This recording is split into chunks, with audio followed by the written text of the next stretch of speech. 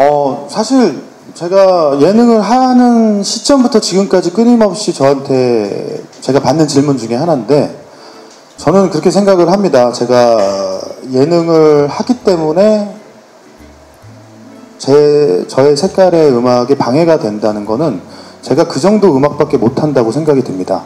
어, 그래서 다소 시간이 걸리더라도 음, 제가 그, 아, 이 사람은 예능은 예능대로 하고 음악은 음악대로 하는 사람이구나라는 거를 보여드리기 위해서는 예능을 그만둘 것이 아니고 제가 제 음악에 더 신경을 쓰고 대중에게 다가갈 수 있는 음악을 노력하는 게 어, 맞다고 생각을 해서 그거는 저에게는 조금 별개의 문제라고 어, 다짐을 하고 어, 멋진 음악을 계속 만들어갈 어, 생각이 있습니다.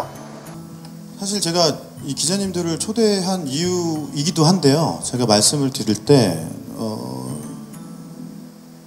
이 기자님들을 모이는 이유가, 초대를 한 이유가 제가 음원에 차트인을 하려고 기- 기자님들이 초대되지 않았으면 좋겠다. 그런 목적이 아니고 저는 제가 시티팝이라는 음악을 하고 있는 중이라는 거를 좀 가능하면 지금부터라도 많이 알리고 싶은데 그런 계기가 되는 쇼케이스였으면 좋겠다는 말씀을 우리 마케팅 팀들한테 전달을 했었어요. 그래서 음, 이번 앨범을 시작으로 아, 지난번 앨범부터 사실은 시작은 한 거긴 하지만 어, 그래서 뮤지는 예능을 안 하고 뮤지 음악을 할 때는 어떤 음악을 하지? 라는 어, 머릿속에 궁금증을 하나둘씩 좀 지워갈 수 있는 아 뮤지는 시티팝을 하고 있구나 라는 생각을 좀 가지셨으면 하는 바람에서 음, 이번 앨범이 어, 제 색깔을 표현할 수 있었으면 좋지 않을까라는 생각을 하고 있습니다.